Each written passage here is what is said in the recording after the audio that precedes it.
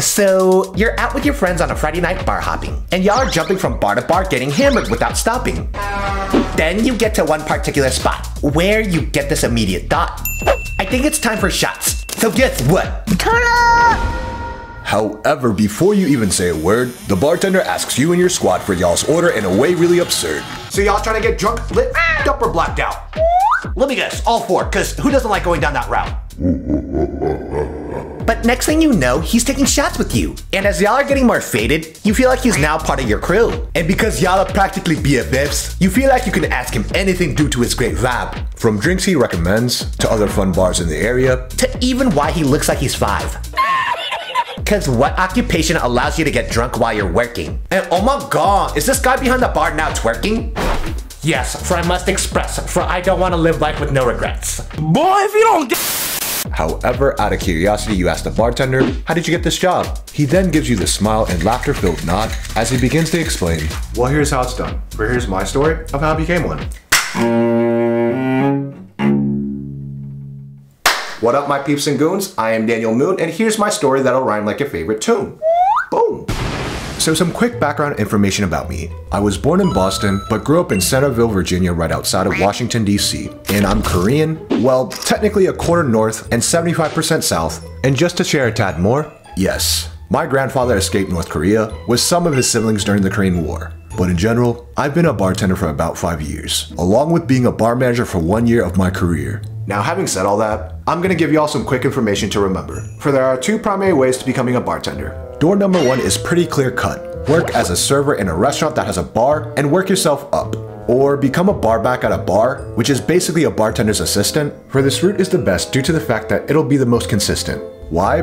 Well, because you'll be working with a bartender each shift, so absorb everything and stay devoted. And as long as you work hard and learn all the ins and outs, you'll eventually get promoted. But then there's also door number two that has a lot of knowledge and tools. For this is the route I chose, which is attend bartending school. And well, looking back, I forgot how much I broke most of my family's traditional rules. However, I'm glad I did what was right for me, despite in the beginning I looked like a fool. So around late 2016, I was still working at Best Buy for what I guess you can call my career, and it felt like torture because I was burnt out from being with the company for at that point almost five years. And this was also around the time I was in college studying to become a pharmacist because my mom said this was a good way about. But long story short, Bro, I was miserable and I was just looking for any way out. Then one day I was venting to my friend about all my problems. However, she came up with a solution that could help me quickly solve them. Have you ever tried bartending because they make really good money? Yet despite being 23 at that time, I didn't drink nor know anything about alcohol, which with hindsight is kind of funny, but I was mainly thinking, How do I learn when I have zero experience? cause this had me appealed. And then she simply told me, You can go to bartending school, for it's a good way to get started within that field.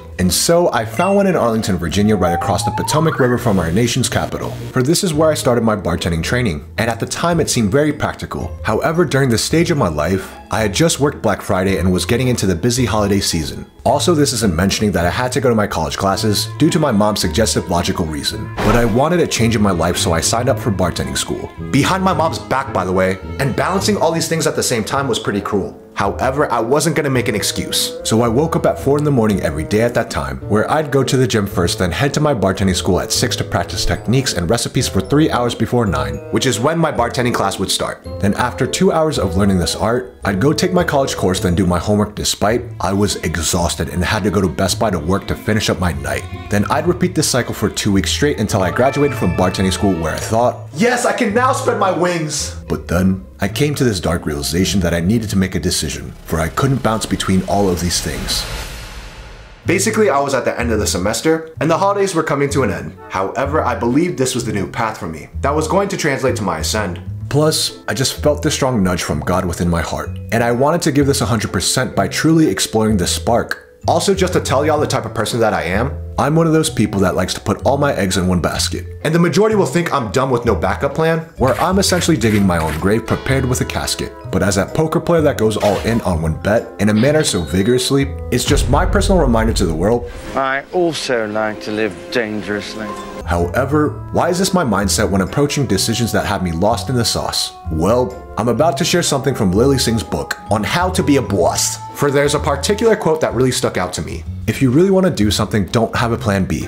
Having a plan B means you're expecting plan A to fail. and that isn't the right attitude. Because when you focus on that card that gets you out of jail, you can't concentrate on your true goal with precise exactitude. So I did the unthinkable. I quit Best Buy.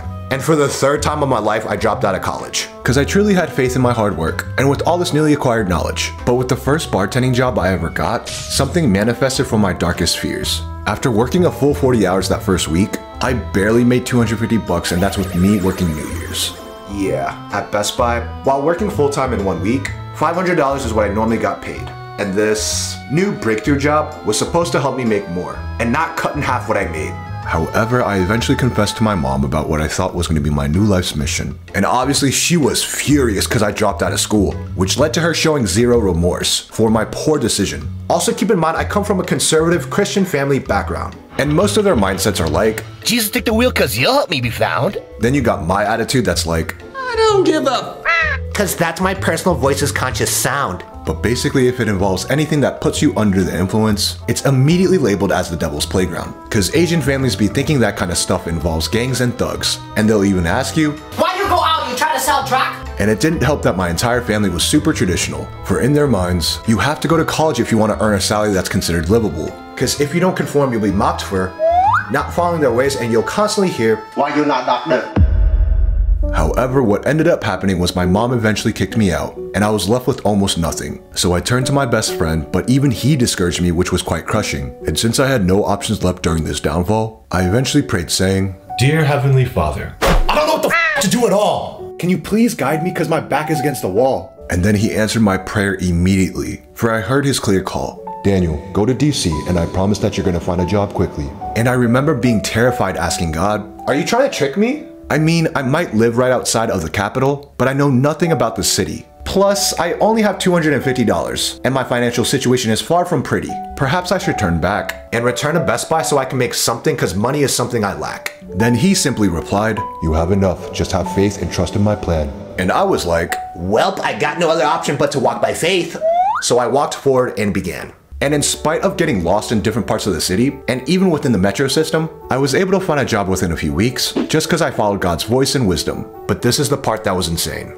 After a few days of training, I received my first tip out, which completely blew my brain. I made $300 in one shift. However, as my manager is handing me the money I made that night, she's holding onto it then proceeds to speak to me looking a bit affright.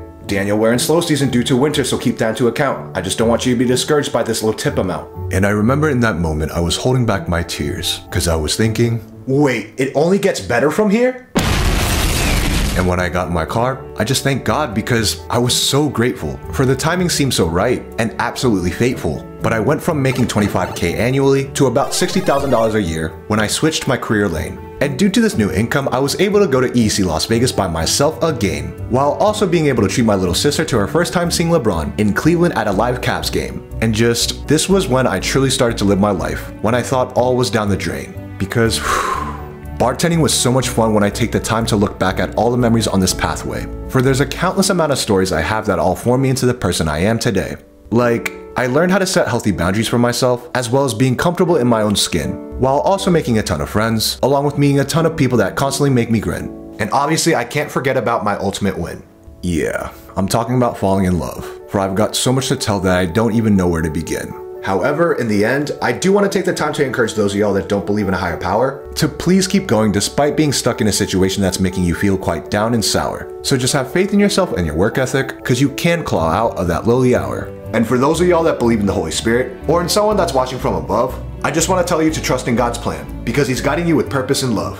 Sure, you may be in certain lows during these difficult hardships, But please don't give up by calling it quits. for we live by faith, not by sight. And this is just a life lesson that we all must apply to shine bright.